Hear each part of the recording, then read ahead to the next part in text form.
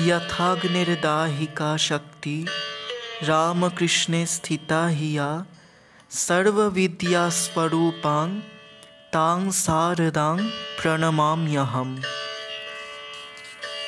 শ্রী শ্রী মায়ের কথা পাঠ সরজুবালা দেবীর স্মৃতিকথা রাধাষ্টমী দোসরা আশ্বিন তেরোশো উনিশ পূর্বপাঠের পরবর্তী অংশ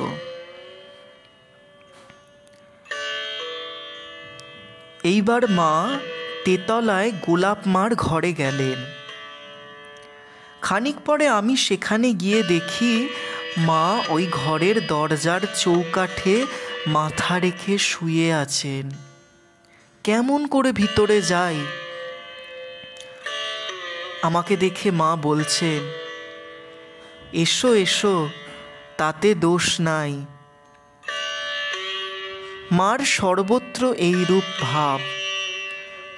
পরে মা মাথা তুললেন। আমি ঘরে গিয়ে কাছে বসে তাকে বাতাস করতে লাগলুম। মা শুয়ে শুয়ে গৌরীমার স্কুলের নানান কথা আর গাড়ি ভাড়া এসব কথা পারলেন। আমি যথাযথ উত্তর দিতে লাগলুম। এই সময় সেই স্ত্রী ভক্ত দুটি সেখানে এলেন।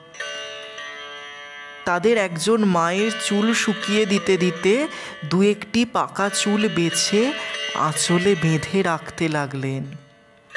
বললেন, কবচ করব। মা লজ্জিত হয়ে বললেন, ও কেন? ও কেন? কত নুড়ো নুড়ো কাঁচা চুল ফেলে দিচ্ছি।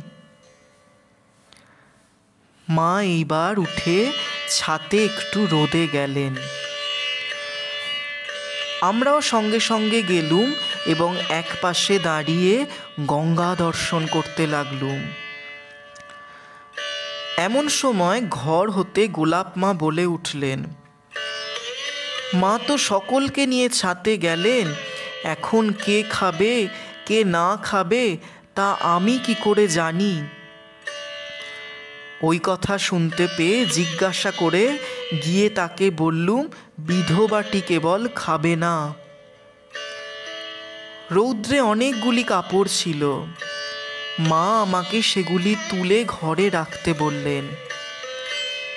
আমি তুলছি, এমন সময় মা নিচে ঠাকুরের ভোগ দিতে নামলেন। আমরাও সকলে নিচে ঠাকুর ঘরে এলুম। ভোগ দেয়া হলে মা আমাকে মেয়েদের খাবার জায়গা করতে বললেন। পরে সকলে প্রসাদ পেতে বসলুম। মা দুই এক গ্রাস খাবার পর আমাদের সকলকে প্রসাদ দিলেন। ইহার কিছু পূর্বে আরও দুইটি স্ত্রী ভক্ত এসেছিলেন। তন্মধ্যে একজন বৃদ্ধা সধবা ঠাকুরের সময়ের এবং অপরটি তার পুত্রবধূ।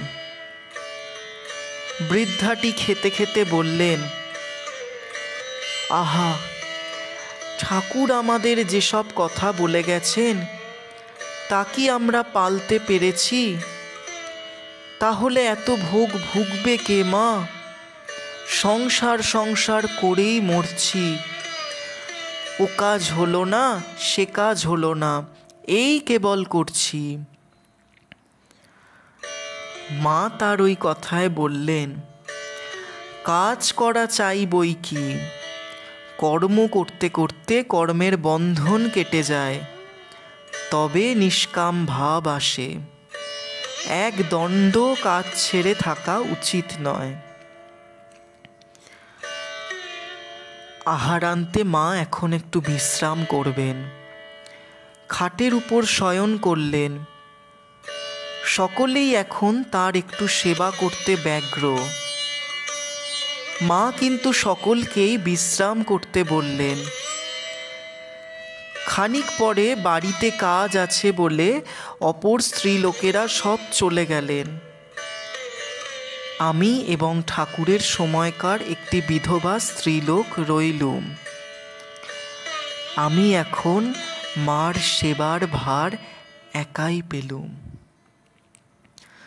ওম শান্তি শান্তি শান্তি হরি ওম তৎসৎ শ্রীরামকৃষ্ণার